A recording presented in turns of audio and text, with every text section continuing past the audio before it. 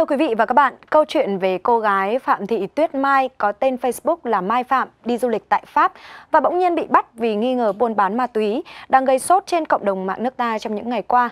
Trong khi nhiều người chờ đợi thông tin chính thức từ các cơ quan chức năng thì nhiều người đặt nghi vấn rằng có thể là chị Mai đã bị lộ thông tin cá nhân và bị kẻ xấu làm giả thông tin. Vậy làm thế nào để tránh được nguy cơ vướng vào vòng lao lý một cách oan uổng khi ra nước ngoài? Chúng ta nên làm gì khi chẳng may vướng phải hoàn cảnh như vậy? Để giải đáp những thắc mắc này thì trong chuyện tối nay ngày hôm nay, chúng tôi xin mời quý vị và các bạn cùng gặp gỡ với nhà báo Hoàng Tuấn Long là một người cũng đã có rất nhiều kinh nghiệm trong việc ờ, đi lại và di chuyển ở nước ngoài. Trước tiên thì xin được cảm ơn anh Long đã dành thời gian đến với chương trình ngày hôm nay của chúng tôi ạ. Xin chào chị và xin chào quý vị à, khán giả của VTC 11. Vâng anh Long thân mến, mấy ngày qua thì dư luận à, đặc biệt là trên mạng xã hội rất là xôn xao về à, sự việc của chị Phạm Thị Tuyết Mai bị bắt tại Pháp vì nghi ngờ là buôn ma túy và chắc hẳn là anh cũng có theo dõi vụ việc này đúng không ạ? Dạ vâng, tôi vâng. có theo dõi. Vâng, vậy với những kinh nghiệm của mình thì anh có nhận định như thế nào về vụ việc này ạ? À, thực ra là cái đầu tiên khi mà tôi thấy bạn bè chia sẻ à, và nhiều người cũng cũng cũng ờ, inbox hỏi mình à, về cái trường hợp này tôi cũng đã xem. À, thú thật là nếu mà chỉ dựa qua những cái gì của bạn ý uh, mô tả trên Facebook thì lượng thông tin nó đến chúng ta không nhiều để chúng ta có thể nhìn nhận rõ ràng. Đấy, qua một cái bức tranh mà bạn vẽ lên thì uh, giống như một cô gái Việt Nam thì sang uh, châu Âu và khi transit bị cảnh sát bắt. À, đây trường hợp như bạn nói gần giống như là bắt oan mặc dù bạn đã giải thích uh, mọi nhẽ nhưng mà cảnh sát vẫn câu lưu vẫn giam giữ và đưa bạn ấy ra tòa. Rồi uh, và bây giờ là đang tiếp tục chờ cái cái quá trình uh, ra tòa lần thứ hai. Uh, thì uh, nhiều người cũng uh, nhiều người trên mạng thấy comment hay nói là ôi thế này thì cảnh sát uh, châu Âu họ làm ăn uh, quan liêu quá. Ủ ôi nếu mà thế này thì ai mà dám đi châu Âu nữa? Cảnh sát muốn bắt lúc nào thì bắt thì tôi nghĩ trong cái vấn đề này phải tách ra hai trường hợp phải tách ra thành hai câu hỏi vì nó là hai vụ việc hai sự việc xảy ra tại hai địa điểm khác nhau. Một câu hỏi thứ nhất là cảnh sát pháp có bắt oan người hay không? Và câu hỏi thứ hai là tòa án bỉ có kết án oan người hay không? Bởi vì uh, trước tiên để đến với câu hỏi đầu tiên là việc cảnh sát bắt à, cô Mai. Thì như vậy là theo như câu chuyện kể ra thì là cảnh sát bắt một cô mang tên Phạm Thị Tuyết Mai. Dạ. à, theo cái lệnh truy nã của Bỉ. À, chúng ta đều biết từ thế kỷ 19 thì khoa học hình sự đã đưa cái vấn đề về đưa cái sinh trắc học vào à, trong việc à, nhận dạng à, con người. Ngoài cái gương mặt à, dái tai hay là những cái vết sẹo này kia đặc trưng thì người ta bắt đầu quan tâm đến mống mắt rồi thì cấu trúc hàm răng và vân tay. Bây giờ thì có thêm ADN à, thì khi mà cảnh sát bắt nếu như ngày cảnh sát bắt cô Mai chỉ đơn thuần đơn thuần là dựa trên cái tên của cô trên hộ chiếu chẳng hạn thì tôi nghĩ nó có lẽ nó hơi khó hiểu. Vì cô không nói là cảnh sát có lấy vân tay cô hay kiểm tra gì không. Thì nếu như cảnh sát pháp mà có những cái động thái là kiểm tra vân tay hay là những cái dữ liệu thông tin khác từ phía của uh, bỉ và đối chiếu với cô mai này và nếu như mà khớp với nhau thì cái việc họ bắt là họ không bắt nhầm. Vậy thì chỉ còn quay lại vấn đề là tòa án bỉ có kết án nhầm cô hay không? Mà bây giờ chúng ta đều chưa có thông tin từ phía tòa án cả thì chúng ta đành phải chờ thôi. Vâng, chúng ta mới có thông tin một chiều từ những gì mà chị Mai chia sẻ đúng không đúng ạ? Rồi, dạ. Vâng, dựa vào những bài viết mà chị Mai chia sẻ trên mạng xã hội thì chị cũng có cho rằng là mình đã bị đánh cắp danh tính và giảm làm giả thông tin. Vậy theo anh thì điều này có thể hay không ạ? Ừ, lại quay trở lại một chút thì chúng ta cũng chưa biết gì về cái vụ án ở bỉ ờ, toán bỉ xử và họ dựa vào những cái gì họ, họ xử như thế nào. Thế bây giờ nếu mà nói về cái việc mà đánh cắp thông tin của một cá nhân để phạm pháp thì đã từng có xảy, xảy ra rất nhiều trường hợp. Ví dụ bây giờ là à, một người xấu lấy cái thông tin dữ liệu cá nhân của bạn có thể là lấy được cái hộ chiếu hay là chứng minh thư họ làm giả cái thông tin đó với họ chẳng hạn. Họ đi à, họ mua sắm à, trực tuyến hay họ thuê nhà họ ở xong họ họ họ mua một cái thuê bao một cái sim điện thoại họ sử dụng đến hết tháng họ không trả tiền. À, rồi họ trốn mất thì đương nhiên là là, là là là đấy cũng là một cái hành vi mà phạm pháp là đánh cắp thông tin dữ liệu cá nhân. Nhưng mà để đến mức mà như như như báo chí đang nói là bạn Mai là đã phải ra tức là là tòa đã phải xử về một tội liên quan đến ma túy thì tôi cũng chưa hiểu và tôi cũng chưa dám hình dung và không dám võ đoán.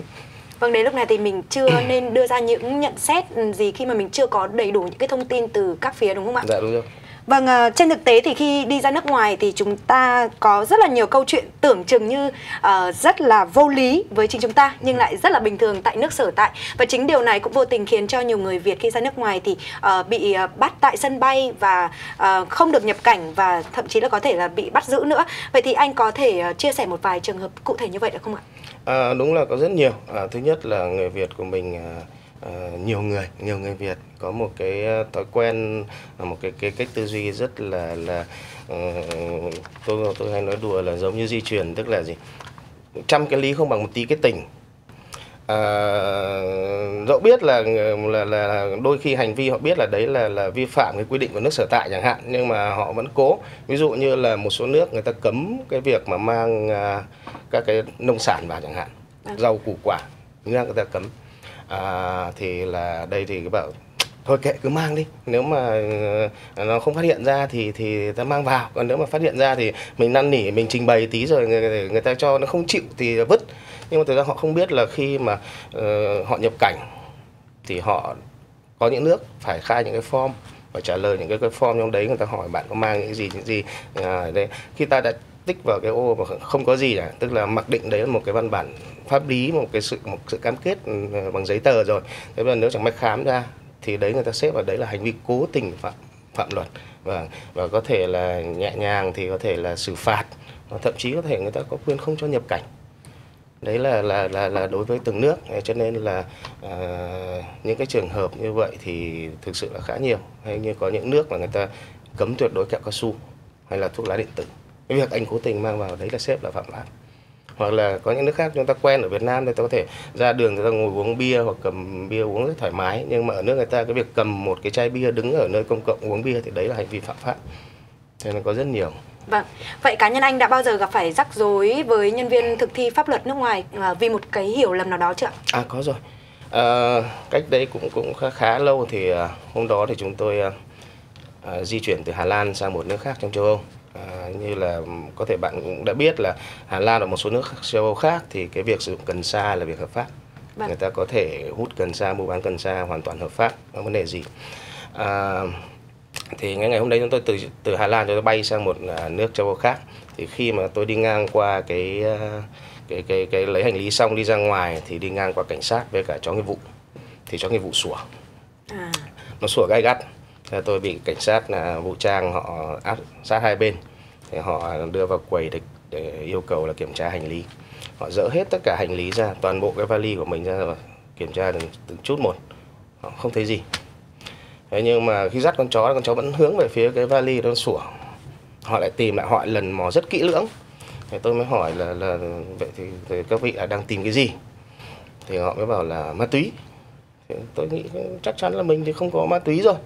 Vì vì vì ấy thì nhưng mà tôi chợt nhớ ra là cái ngày tối hôm trước thì chúng tôi đi ra cái khu phố đèn đỏ Amsterdam để tham quan thì ở đấy ở khu phố đèn đỏ này thì thường những người dân ở đấy thanh niên hoặc người ta tuổi về đấy rất đông khách du lịch cũng rất đông người ta hút cần sa rất nhiều.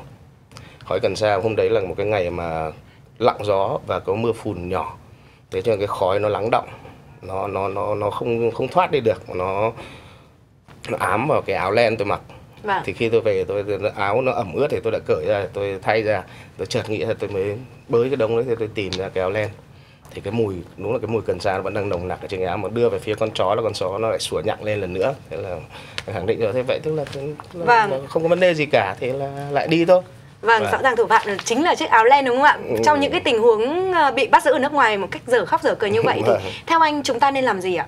À, thực ra tôi nghĩ là về nguyên tắc là trước tiên là phải tôn trọng cái lực lượng hành pháp của họ đã thực thi pháp luật. À, khi họ yêu cầu vì họ có quyền và họ yêu cầu chúng ta thực hiện những cái gì chúng ta nên tuân theo trước mắt. Bởi vì là là là à, nếu mà chúng ta chống cự hay làm ấy lại thì đôi khi cái tội chúng ta sẽ thành có thể sẽ thành một cái tội nặng hơn hoặc ngay trước mắt là họ sẽ dùng biện pháp mạnh để họ chấn áp. Thì như vậy là chúng ta sẽ là người thiệt thòi. Vậy thì chúng ta cứ tôn trọng các quy định của họ. Nếu như bắt đầu là có những cái dấu hiệu mà vấn đề nghiêm trọng hơn chúng ta có thể yêu cầu cho họ liên hệ với sứ quán để được bảo hộ công dân thì sứ quán sẽ thực hiện các nhiệm vụ hỗ trợ chúng ta. Và sau đó có thể là liên quan đến luật sư thì đó để chúng ta à, để để họ giúp chúng ta giải quyết các vấn đề. Vâng ạ, và trên hết trước chuyến đi thì chúng ta nên trang bị cho mình tốt về ngoại ngữ cũng như là những kiến thức cơ bản về quy định định pháp luật hay là những cái thủ tục nhập cảnh để có được những chuyến đi hoàn toàn đúng không ạ? Thực ra tất cả những cái đấy dẫu nhỏ nó đều là một cái chuỗi liên quan đến với nhau. Từ cái việc khi mà chúng ta nhập cảnh cho đến những cái việc mà à, liên quan đến pháp luật chúng ta đến một nước nào đó thì trước tiên chúng ta phải tìm hiểu về cái quy định về các cái quy tắc ứng xử cũng như là pháp luật của nước đó. À, ngay khi chúng ta làm thủ tục nhập cảnh thôi cũng vậy. À, đối với những nước mà yêu cầu visa cái việc chúng ta có một cái visa để cho phép vào nước đó đấy là mới chỉ là điều kiện cần chưa phải điều kiện đủ. Vâng. cảnh sát uh, biên giới hoàn toàn có quyền không cho chúng ta nhập cảnh bắt chúng ta bay về vì một lý do đó. Nên phải tìm hiểu rất kỹ rất nhiều nước thì khi mà bạn đi vào đấy theo diện du lịch tự do chẳng hạn thì người ta sẽ yêu cầu bạn cho họ xem cái hành trình này cho họ xem cái xác nhận cư trú tức là khách sạn hay là gì đó những vâng. cái đặt khách sạn. À, thậm chí là vé máy bay và vé tàu xe nếu có. Thì họ sẽ hỏi bạn một số câu hỏi. Nếu như mà chúng ta đáp ứng được các vấn đề đấy thì đơn giản mọi việc sẽ rất đơn giản vâng ạ vâng và chúng ta sẽ chỉ còn một việc là thực hiện cái chuyến hành trình của chúng ta thôi vâng. tất cả những cái chi tiết nhỏ đều thể ảnh hưởng đến à, cái chuyến đi của mình cho nên là chuẩn bị càng kỹ lưỡng càng tốt Vâng, xin được cảm ơn những chia sẻ rất là cụ thể và thiết thực của nhà báo Hoàng Tuấn Long trong chương trình ngày hôm nay của chúng tôi ạ. Dạ. Và câu chuyện vừa rồi cũng đã khép lại chương trình chào buổi tối ngày hôm nay. Cảm ơn sự quan tâm theo dõi của quý vị và các bạn. Xin chào và hẹn gặp lại.